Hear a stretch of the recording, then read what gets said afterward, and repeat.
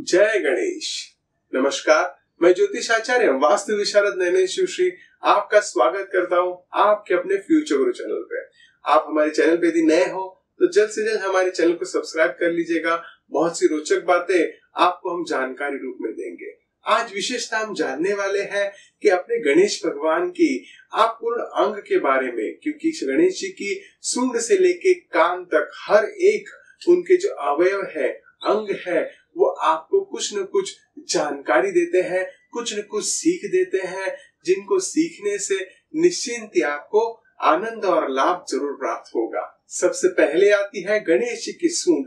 गणेश जी की सूंड जितनी लंबी होती है, हिलती रहती है, इसका मतलब है व्यक्ति के विचार, व्यक्ति की बुद्धिमत्ता, उस तरह से विचार बड़े होने चाहिए। हमेशा सतर्क रहना चाहिए। जो भी व्यक्ति अपने मन को सतर्क रखता, अपने विचारों को सतर्क रखता है, अपने आजू बाजू के वातावरण को अच्छी तरह से भाप लेता है, वो जीवन में हमेशा सदैव यशस्वी होता है। उसके जीवन में हर प्रकार की समृद्धि उसको मिलती है, इसी के साथ यदि जो व्यक्ति अपने शत्रुओं पर विजय पाना चाहता है, वो दाई सुन के गणेश जी की पूजा करें और जो व्यक्ति अपने जीवन में सुख समृद्धि और आनंद चाहता है, वो बाई तरफ़ की सूंड की गणेश जी की पूजा करने से निश्चिंत लाभ होगा। गणेश जी के लंबोदर होने का मतलब है जो आप अपने बाजू में, आजू में हर चीज़ समझते हो, जानते हो, और कोई भी बात यदि आपके साथ कोई करे, उस बात को अच्छी तरह से हजम करना ज़रूरी है, उस बात को अच्छी तरह से समझना ज़रूरी है, उसके पश्चात जो व्यक्ति निर्णय लेता है ना, उस व्यक्ति को समस्त संसार का लाभ होता है, सांसारिक जीवन का लाभ होता है। अगर कोई व्यक्ति कोई बात सुनता है, उसको हजम नहीं कर पाए, और उसी तरह से उसके विचार नेगेटिव हो जाते हैं तो उसके जीवन के लाभ नहीं होते उसके मन में अहंकार उत्पन्न हो जाता है, जिस वजह से आपको पीड़ा हो सकती है। इसलिए श्री गणेश जी का लंब उदर साक्षात समृद्धि का प्रतीक है। उसी तरह से हमें भी अपने विचारों को बड़ा करना चाहिए। जो भी चीज़ हम समझते हैं, उस तरह से हमको पूरी तरह से समझकर उसके ऊपर निर्णय लेना चाहिए। ये मार्गदर्शन हमारे श्री गणेश जी के लंब उदर से हमें मिलता है। श्री गणेश जी को गजकर्ण भी कहा जाता है, उनके कान लंबे होते हैं। विशेषतः मानस शास्त्र में लोगों को कहा जाता है जो एक हमारे ज्योतिष शास्त्र भी कहते हैं कि जिस व्यक्ति के कान लंबे होते हैं, बड़े होते हैं, उनकी आयु बहुत बड़ी होती है। इसी के लिए जिस व्यक्ति के कान बड़े होते हैं, वो सबकी बातें सुनता ज़रूर है, समझता ज़रूर है, पर विवेक से, अपने बुद्धि से निर्णय लेता है कि उसके जीवन में उसको उस तरह से आगे कैसे करना है। यदि आप किसी की बातें समझ के कुछ छोटे विचारों से निर्णय लेते हैं तो आपके जीवन में कष्ट पीड़ाएँ बढ़ सकती है।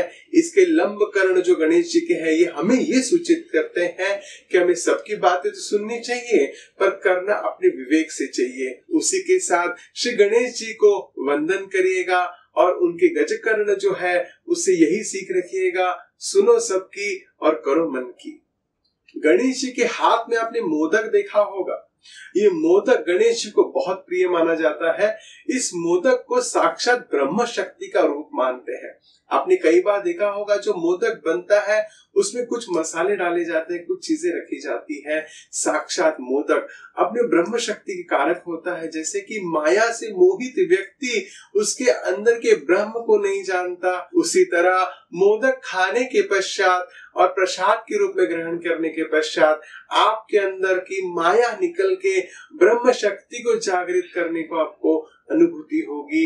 इसीलिए मोदक का संपूर्ण लाभ आप ज़रूर ले सकते हैं और विशेष 21 मोदक का निवेद्य यदि आप गणेश जी को चढ़ाते हैं तो आपको निश्चिंत लाभ होगा। आपने गणेश जी के हाथों में अंकुश और पाश देखा होगा।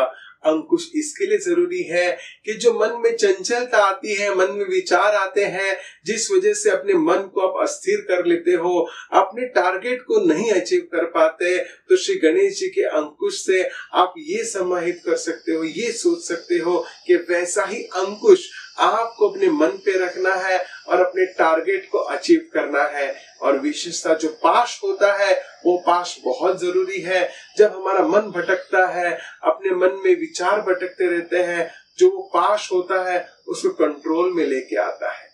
इसीलिए ये अंकुश और पाश भगवान जी के हस्त में उन्होंने ग्रहण की है। जो व्यक्ति गणेश जी की पूजा करता है, उसको अपने मन पे अंकुश करने के लिए कहीं और भटकना नहीं पड़ता। गणेश जी की पूजा से उसको ये अंकुश का ज़रूर लाभ होता है।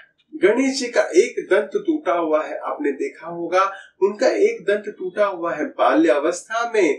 परशुराम जी के साथ उनका युद्ध हुआ था। उस युद्ध में उनका एक दंत टूट गया था।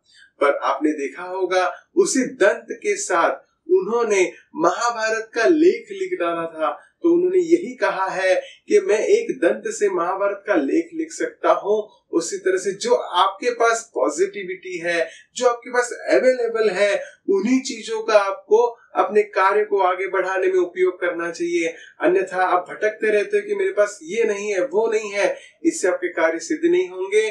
जो आपके पास है, उससे आपका लाभ उठाए। ये एक दंत से हमें सीख मिलती है। गणेश जी की वर मुद्रा का विशेष आवाहन होता है जब वो अपने हाथ से आपको आशीष देते हैं, आपने देखा होगा श्री गणेश जी अपने हाथ से आशीष देते हैं आपके जीवन का कल्याण करने के लिए, आपके अंदर अच्छे गुणों का संचार होने के लिए उनका आशीष आपके ऊपर बना रहता है। और गणेश जी के मुखमंडल पे सदैव एक हास्य होता है, उनके चेहरे पे ऐसा तेज होता है, उस तेज से आपके अंदर रज, तम, सत्व जो गुण है उनके ऊपर आप अपना कंट्रोल ले सको, उनके मुखमंडल के दर्शन से ही आपके मन में जितनी भी विचलितता है, जितनी भी स्ट्रेस है, वो सब दूर हो जाते हैं। साक्षात गणेश जी के सर्व अंग से, साक्षात गणेश जी के दर्शन से आपके संपूर्ण विघ्न दूर हो जाते हैं। आज मैंने आपको गणेश जी के सर्वांग के बारे में, उनके अंगों के बारे में जितनी महत्वपूर्ण जानकारी है, वो मैंने आपको दी है। विशेषतः मैंने आपको मोदक के संबंधी जो जानकारी दी है, जब आप 21 मोदक का नैवेद्य गणेश जी को चढ़ाओगे ना, उसके पश्चात छह मोदक अपने घर पे रखिएगा और पंद्रह मोदक को बच्चों में, आने वाले आगंतुक जो मेहमान होते हैं, उनमें ज़रूर बांटिएगा। आपको विशेष लाभ होगा, इससे आपका निश्चिंत लाभ होगा। आपको जो मैंने जानकारी बताई है वो अपने तक सीमित मत रखिएगा, अपने मित्र जन को, अपने परिवार जन को ज़रूर शेयर करें, जिससे उनको भी इस प्रकार की नॉलेज हो और उनसे भी गणेश जी का आशीर्वाद उनको प्राप्त हो। और विशेषता हमारा चैनल ज़रूर सब्सक्राइब करिएगा। ऐसी रोचक जानकारियाँ हम आप तक पहुंचाते रहेंगे। नमस्कार।